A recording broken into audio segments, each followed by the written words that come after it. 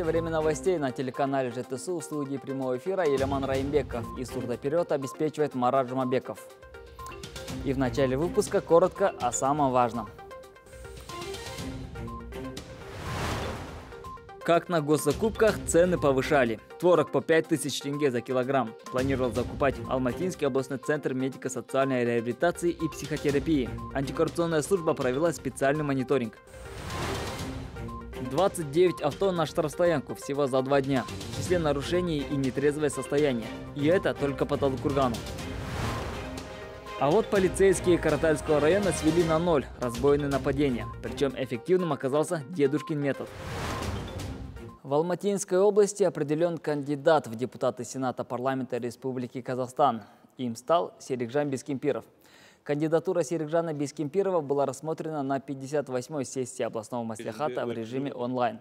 Единогласное одобрение депутатского корпуса для кандидата станет путевкой для участия на выборах в Сенат от партии «Нуратан». Серикжан Бескимпиров родился в 1960 году. Окончил Алматинский энергетический институт по специальности инженер-электрик. Трудовой путь начал простым мастером. Позднее в разные годы был акимом Каратальского, Панфилского районов и города Текили. Сейчас работает заместителем Акима Алматинской области. Отличается трудолюбием, стойким характером и неравнодушием к проблемам общества. Отметим, по распоряжению Касым Жомарта Токаева 12 августа пройдут выборы депутатов в Сенат парламента. К другим темам. О фактах завышения цен в системе государственных закупок в Алматинской области сообщил в ходе брифинга в ЖТСУ «Медиа» первый заместитель руководителя Департамента антикоррупционной службы региона Жандос Жумабаев. Как выяснилось, нередко заказчики госпредприятия покупают товар по завышенной цене. К примеру, в результате антикоррупционного мониторинга портала «Единое окно закупок» выявлено, что в Алматинском областном центре медико-социальной реабилитации и психотерапии планировался закуп одного килограмма творога по 5000 тенге, килограмм укропа по 1350 тенге. По результатам внесенных надзорными органами предложений закупки отменены. Экономия финансовых средств составила почти 9 миллионов тенге.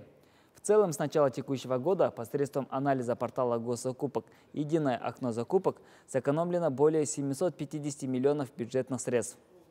По линии, скажем, здравоохранения было сэкономлено, более 300 миллионов. Э, по линии э, образования тоже более 300 миллионов. В последующем на будущее были направлены соответственно с нашей стороны э, предложения, которые рассматриваются на республиканском уровне для внесения соответствующих изменений в законодательные и нормативно-правовые акты.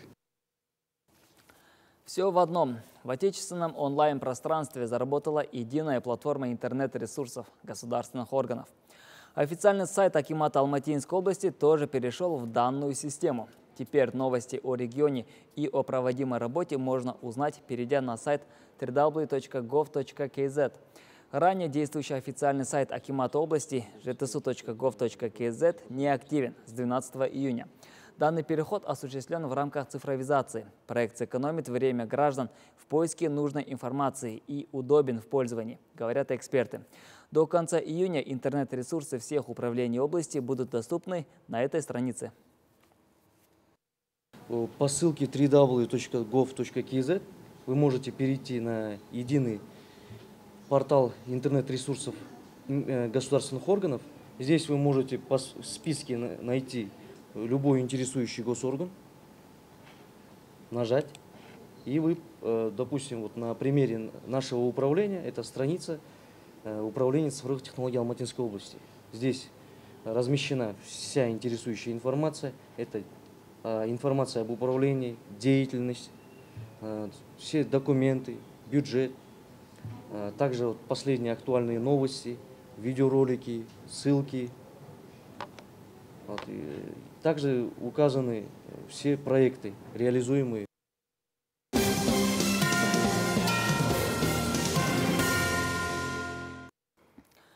За танцевальный флешмоб на карантине наказали Акима в Карагандинской области. Его предупредили о неполном служебном соответствии. Видеоролик танцевального флешмоба появился в ТикТок и разлетелся по соцсетям. Оказалось, что видео было снято в честь Дня работников культуры. На нем танцует Аким поселка Жайрем Аманказы Наукенов. В настоящее время отделом полиции города принимаются соответствующие меры в отношении данных лиц в рамках Кодекса об административных правонарушениях. На ликвидацию радиоактивных пятен в Усть-Каменогорске не хватает финансирования. Экологи уверены, с таким бюджетом вывести опасные пятна возможно только через 100 лет. Дополним, Восточный Казахстан занимает лидирующие позиции по онкологическим заболеваниям в стране. Один из крупных университетов Восточного Казахстана находится практически в эпицентре радиации. На загрязненной территории расположены автобусные остановки, автостоянки, жилые дома. О том, что здесь кругом радиоактивные пятна, знает каждый местный житель, так как появились они 70 лет назад. Проблема поднималась давно. Правительство услышало, выделило деньги. Но на сегодня из 20 таких загрязненных территорий только 8 ликвидированы. Подросток умер во время массовой драки в Таразе. 15-летний юноша получил 8 ножевых ранений и, потеряв много крови, скончался. ЧП случилось ближе к ночи в микрорайоне Шульдала, что на окраине Тараза. Четыре подростка-сверстники с соседней улицы специально вызвали его для разбирательств на местный стадион. Сначала дрались один на один. Позже проигравшая сторона позвала на помощь друзей, и противников стало в четыре раза больше. Родители не могут оправиться от шока, требуют наказать виновных. По факту смерти подростка полицейские начали досудебное расследование.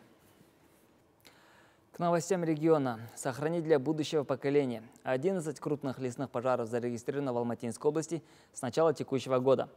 Общий ущерб исчисляется миллионами, но главное, природе нанесен непоправимый вред. Дабы не допустить дальнейшего роста, сотрудники ДЧС региона провели профилактическую беседу с владельцами зон отдыха на территории Талдыкурганского лесного хозяйства. В течение года в пожарном графике значится несколько пожароопасных периодов. Очередной из них приходится на лето. Учитывая повышенную температуру, в регионе участились случаи возгорания сухой травы. Факты зарегистрированы как и в лесостепной зоне, так и на участках дачных массивов. В целях профилактики сотрудники противопожарной службы обошли зоны отдыха, расположенные в Талдыкурганском лесничестве. Проинструктировать вас, обследовать ваши зоны отдыха на соответствие пожарной безопасности. Э, вот буклет о соблюдении правил пожарной безопасности. Ознакомьтесь. Э, соблюдайте требования пожарной безопасности и надо требовать от отдыхающих тоже. 13 июля открылись. Вот. Э, работу начали. Гостей принимаем. Соблюдаем пожарную безопасность. Гостям объясняем, чтобы соблюдали тоже пожарную безопасность, санитарию. И спасибо вам, что пришли, ознакомили. И спасибо вам, что предупредили. Расположение на лесистой территории обязывает постоянно быть бдительными и работающих в березовой роще. На случай ЧП здесь есть все необходимые шансовые инструменты, хлопушки, лопаты, огнетушители и так далее.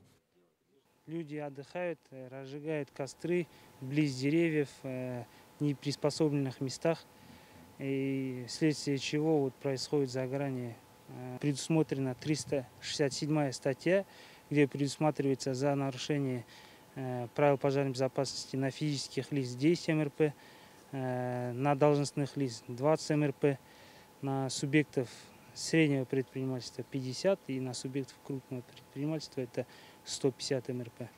По словам спасателей, с начала года на территории Талдыкурганского лесничества лишь единожды выявили факт незаконного отдыха с розжигом костра. Это в разы меньше, чем за аналогичный период прошлого года. Однако радоваться рано. Пожароопасный период только стартовал, однако спасателям следует быть готовыми ко всему. Дамир Анитов, Нуржан Муканов, телеканал «Жицу». На страже порядка на 100% снизились разбойные нападения в Каратальском районе. Заметно убавилось и число грабежей, а также ДТП. Радужную статистику за первое полугодие привели сотрудники местной полицейской службы. О действенных мерах, предпринимаемых блюстителями закона в борьбе с преступностью, расскажет мой коллега Дамир Анитов эффективной борьбы с преступностью стражи порядка применили простой, но очень действенный метод – пеший режим. Практика с лихвой себя оправдала. В общественных местах и на улицах уже в значительной мере сокращена преступность. Ежедневно сотрудники отдела полиции э, осуществляется 4 пеших и один э, экипаж э, автопатрулирования по осуществлению общественного порядка. Целях профилактики, предупреждения э, преступления данного вида нами проводятся целевые рейдовые мероприятия с отработкой ранее судимых лиц э, за совершение корыстно-насильственных видов преступления. Патрулируя свои участки, полицейские ведут активную разъяснительную работу с гражданами. Они вручают им информационные памятки, брошюры с полезными советами, как предупредить квартирные, карманные и автомобильные кражи. Посещают стражи порядка и объекты малого бизнеса, в их числе магазины, парикмахерские, салоны красоты, ломбарды и так далее.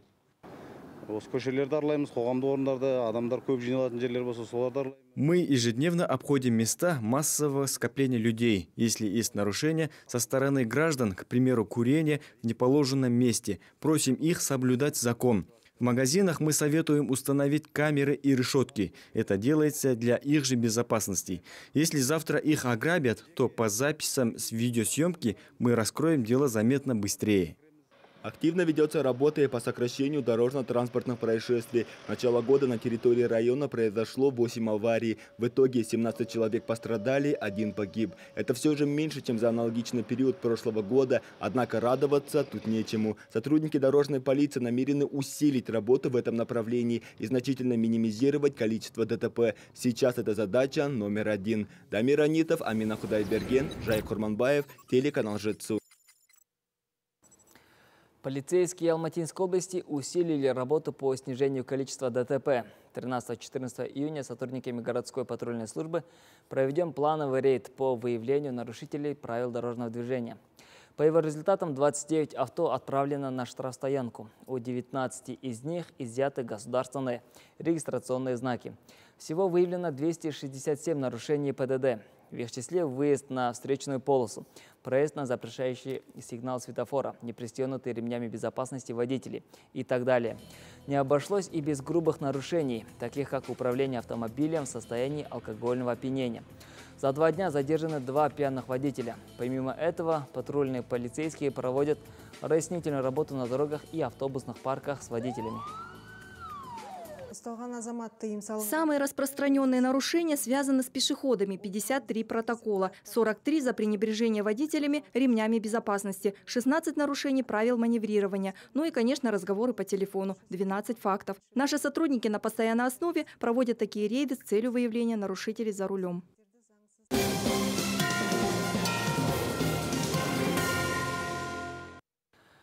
В Париже впервые с момента введения карантина полностью открылись кафе и рестораны. Регион Иль-де-Франс перешел в так называемую «зеленую зону». Власти страны заявляют, что Франция преодолела самый тяжелый период эпидемии, но напоминают о необходимости соблюдения санитарных правил. В понедельник после долгого перерыва в работе начали принимать туристов свыше трех десятков объектов истории и культуры. Однако действует запрет на собрание в общественных местах численностью более 10 человек. Полчища саранчи уничтожают посевы индийских фермеров. Штата Раджастан пустынная саранча добралась из Пакистана уже в начале мая. По оценкам экспертов продовольственной и сельскохозяйственной организации ООН, нашествие будет продолжаться как минимум до начала июля. Оно затронуло уже 43 района в пяти штатах. Передвижению саранчи способствовал циклон Ампхан – Взрослые особи пролетают до 150 км в день.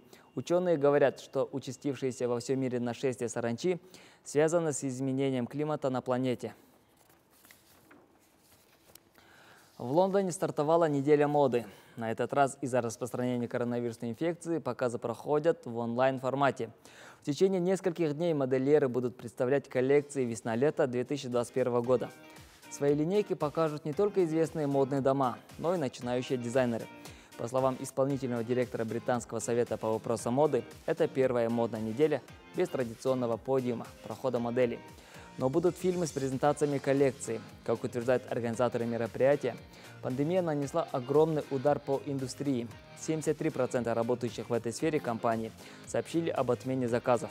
Поэтому это будет шагом коммерческой и потребительской аудитории, а также возможностью по-настоящему взглянуть на то, как индустрия по-новому воспринимает цифровые технологии и ищет новые пути.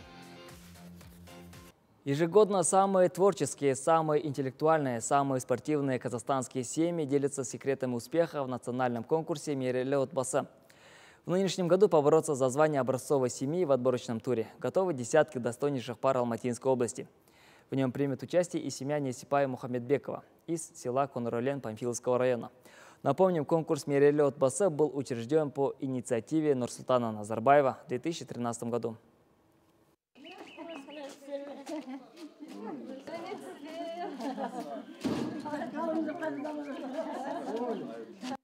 Семья Несибая Мухаммедбекова – пример для многих сельчан. В этом году он и его супруга Баджан Оразбаева отмечают 55-летний юбилей совместной жизни. Вместе они вырастили дочь и двух сыновей. У пожилой четы подрастают 9 внуков и два правнука. Всех их Несибай считает достойными людьми, ведь воспитывались они на словах назидания великого Абая, творчество которого глубоко чтит глава дома. У дружной семьи есть и свои традиции, поддерживаемые хозяйка очага Баджан Апа. Однако основой долголетия их отношений оба супруга считают взаимное уважение и любовь.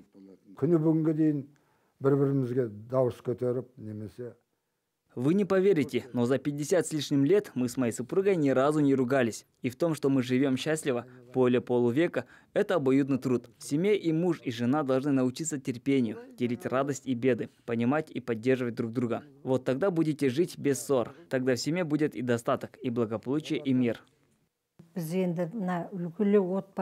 Я была приятно удивлена, когда узнала, что нашу семью выдвинули на участие в таком большом конкурсе. Наверное, мы действительно являемся в чем-то примером для своих земляков. Я признательна всем им за доверие и высокую оценку. Более 40 лет жизни Несибай Мухаммедбеков отдал педагогической работе, 14 из которых был директором Коноруленской средней школы имени Кошбанбет Бия. На его счету комсомольская и партийная деятельность и работа в профсоюзе. По признанию Баджану Разбаевой, несмотря на занятость, Несибай Ага всегда находил время для семьи. И сегодня, даже будучи на заслуженном отдыхе, глава семьи не сидит без дела. Со слов же самого мужчины, именно поддержка его любимой семьи помогла достичь ему поставленных целей. Бір мың тоғыз жүз тоқсан бірінші жылдан екі мың жетінші жылға дейін ағамен бірге істедік. С Несипаем Мухаммедбековым я проработала в школе 16 лет. Эти годы связаны только с хорошими воспоминаниями. Он всегда находил нужные слова и для педагогов, и для учащихся. К тому же при нем повысилась успеваемость. Помню, что в один год мы выпустили аж 15 человек с Алтенбильгой и красными дипломами. Я очень рада, что в областном конкурсе Мирели Отбасы будет участвовать именно семья Ниспекага. Я желаю им удачи в предстоящем конкурсе. Семья Мухаммедбековых активно готовится к предстоящему конкурсу. Любимым дедушке и бабушке также помогают внуки. Готовят фотоальбомы, снимают домашние видео. Ведь для них Несибай и Баджанапа – живой пример образцовой семьи, в которой живут гармония, мир и счастье. Гульмира Тимиргалиева, Абзал Нусипов, телеканал ЖТСУ, Панфиловский район.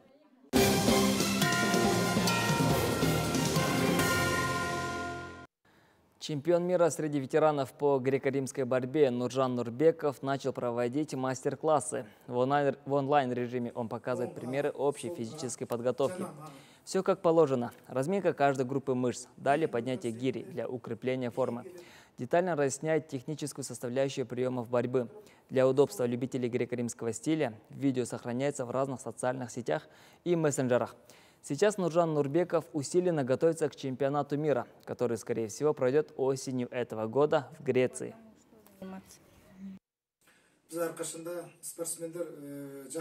Чтобы быть всегда в хорошей форме, нельзя прерывать тренировки. Сейчас сложная обстановка в мире, но нужно искать выход из ситуации, проявлять силу воли и быть примером для окружающих. Планирую и дальше продолжать онлайн-тренировки через социальные сети.